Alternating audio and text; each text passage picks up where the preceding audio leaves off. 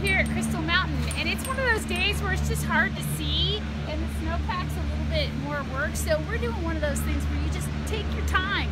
No reason to wreck yourself. There's plenty of terrain to go check out, see what's out far to the uh, south back and then take another tour around, see what's way out at Northway. Check it out and learn the terrain so when it is really good you're ready to go. No reason to hurt yourself with a bad visibility.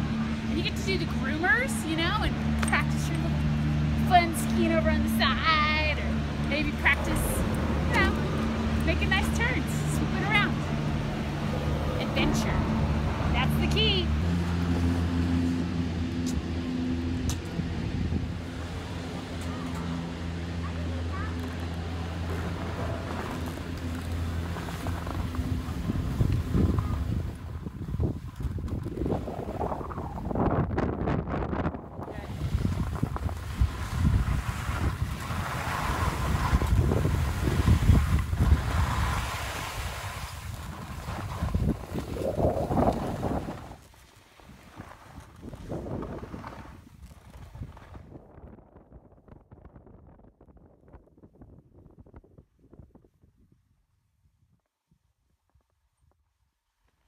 What do? Should we go all the way out to the edge of the resort and see how far the boundary goes?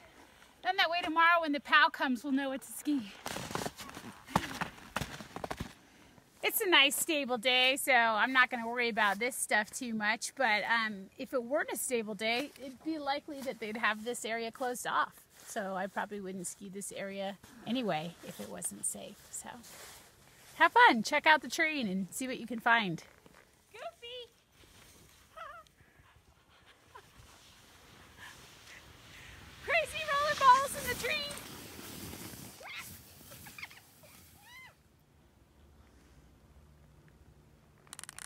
This is me transitioning from the fog to where it changes to light.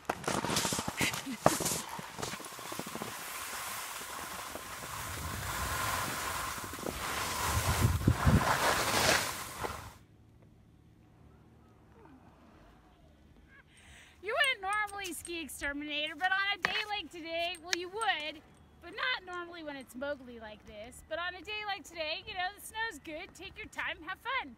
Okay, here we go.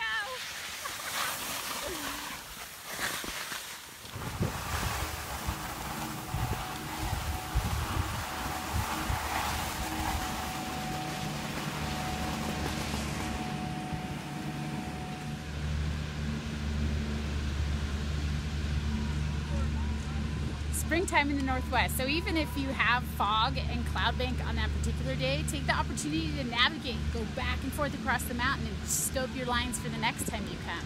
The groomers are still a total blast. See you up here.